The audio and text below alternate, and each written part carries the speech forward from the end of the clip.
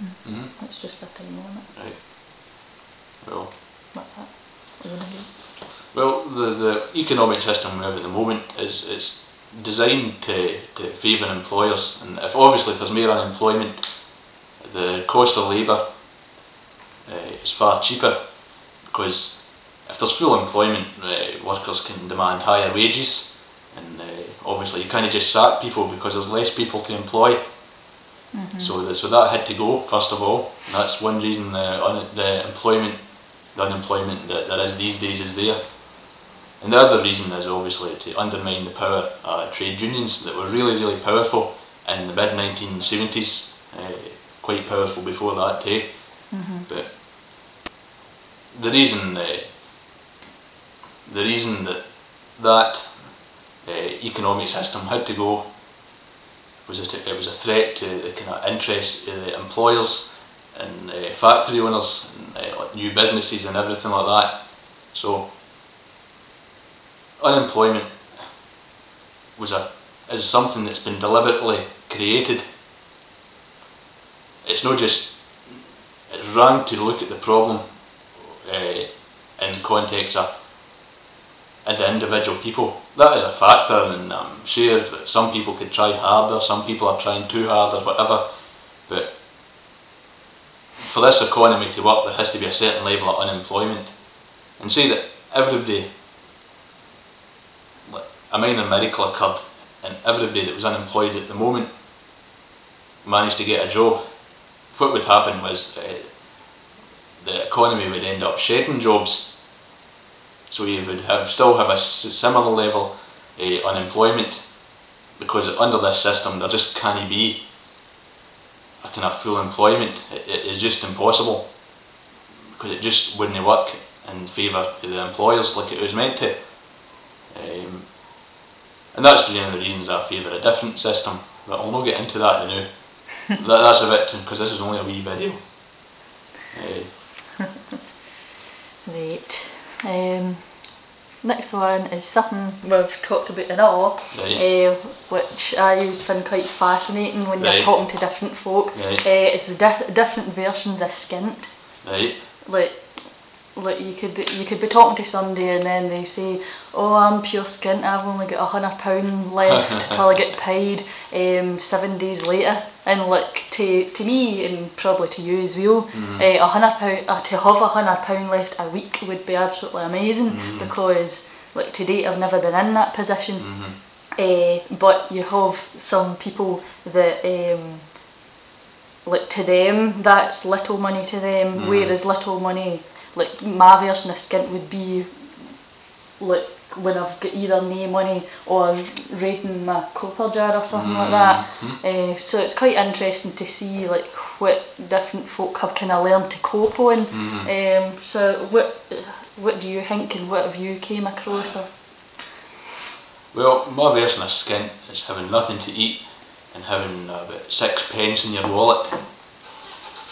That is definitely skint, and Mhm. uh, having no hope, uh, having no money for uh, at least a week, or maybe even more than that, and having to rely on other people to feed you, and having to rely on other people to, to buy you stuff and to, to make ends meet. That is what I consider skint. Mhm. And it's obviously uh, relative that a lot of people, as you were saying, like, if you only get if they only have a hundred pound to spend in it for a week, that is skint to them because they are used to having a higher amount to spend. That is, Aye. um, and it is a kind of relative kind of a relative kind of skintness. Uh, if you want to use the word skintness, but it's not really a word, but it'll be. Um, the thing is, to to some people, having five hundred pound a week will be skint.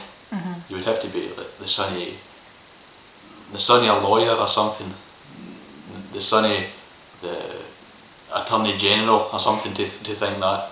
Uh, and that's only skint in their kind of view of things. that Mhm. maybe no skint so much, but disadvantaged. Aye. They they feel that in their uh, what their kind of position in life that they should have more. Mhm. It's no maybe skint is the wrong way to put it. skint is having nothing, but Mhm. like to some folk having a hundred pound, they they ken they're no destitute, like the true skint people, but they feel that they should be doing better, and maybe they have made a mistake in their finances, and maybe they think that the system the, has wronged them in some way, like maybe they've lost their job, maybe they've their wages have been cut or something like that. It's and they'll be quite right. Uh, if you're kind of like a skilled worker, uh, you should a hundred pound to spend in a week these days, especially if you've got a family, isn't it very much. With bills to pay and maybe the likes of car insurance and stuff like that. So they, they definitely feel disadvantaged, and I can see the the, the reasonableness in that. But uh, the likes of somebody thinking, I've got a thousand pound a week, I'm skint. I would say, piss off.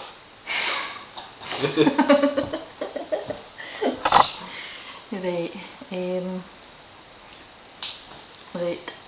Fifth question is regarding the stigma of being teetotal. The stigma here in this country Mm. eh, of if you're a person that decides not to drink alcohol. hmm Um, what do you think about the stigma about no drinking alcohol? Well, there's a massive stigma attached to that. I personally, I'm not a teetotaler, but I don't drink very much. But just, uh, I've never really been into it, and uh, plus it just didn't really deal with me all that well. Uh, I'll not get into that either. That can be another video. But uh, this is again related to the thing I was mentioning at first about uh, the idea of the free country. Mhm. That of course, nobody, if you don't drink, nobody's going to put you in prison, nobody's going to shoot you or anything like that. But if you don't drink, if you decide to don't drink, you just, it's unlikely you're going to have the same quality of life as somebody that does, especially in your social life, particularly in your social life. And uh, if only non-drinkers are watching this, I'm sure you'll be familiar with like uh, nights out and saying to folk, uh, "Can you get me a Coca-Cola?" and they say, uh, "What? you know what? Vodka in it? You know, I don't drink." I say, "What? What do you mean? What, do, what are you talking about?" Uh, it, it always reminds me, was it Chewing the Fat, where they're in the pub or something and the guy doesn't drink and then they keep saying, take a drink, and he's like, no, and then they keep saying, what's wrong with you, take Mm, a and then they drink. go in and That's they, what it they say, "Oh, go on," and they say, "Yeah, yeah, yeah, yeah, yeah." it's like if you drink, it's like you're a member of a, an exclusive club. You're, you're one of the one of the people, one of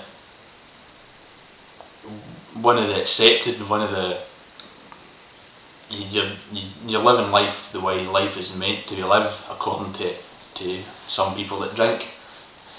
Aye. Like, no, everybody's like that. Some drinkers that, that I can respect, uh, non-drinkers' decisions not to drink, but unfortunately, I would have to say it's quite few that think that in that way. Mhm. It's, and I've heard drink uh, like drinking breaks up friendships. It can break up marriages. It can break up probably kind of workplace partnerships, maybe even. It can. It seems it might sound like a wee tiny thing. Like some folk drink, some folk don't. What's the big deal? But I've never understood how some folk feel so passionately about drinking like, if you want to drink, great, I have no problem. But Mhm. some folk think if you don't do it, you're some kind of pariah, you're some kind of, as if you'll, they'll get the non-drinking disease. It's like, I think drinkers can be great, they can be funny and everything like that, but I just don't understand the passion in some of them towards folk that don't drink. It's like, Mm. it's no like, there's lives at stake. The way they go on, it's like lives are at stake. Aye. And that's something I've never understood. Can you just, some folk drink, some folk don't. Can that no just be fine? But in this country, that is uh, a pipe dream. Well, everybody, that's all the now. Uh, and you're free to put any comments down uh, at the bottom. an agreement or disagreement or suggesting things that you might want me to talk about in the future. Uh, if you want to see of Ava, you can just comment about that too. uh, but one thing, there'll be no abuse, because there'll be no fuss, we'll just delete it. And so there's no point putting it down. So there'll be none of that. Aye, Uh, don't waste your breath. No, don't waste your breath. but kind of civilised criticisms are welcome. Is there any suggestions? And uh, we'll see you probably maybe in a week's time or something like that. Cheerio, everybody. Bye bye.